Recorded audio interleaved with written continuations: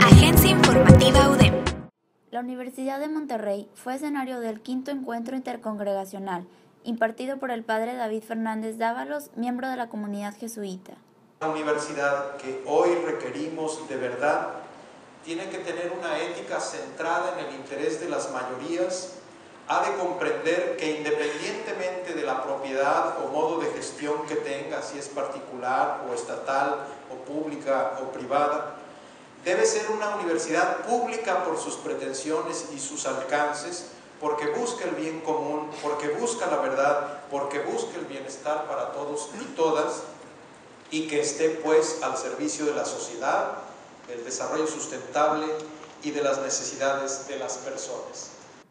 Siendo el principal objetivo instaurar una universidad que se desarrolle conforme a la realidad, sirva a la justicia, construya la verdad y edifique una sociedad más humana.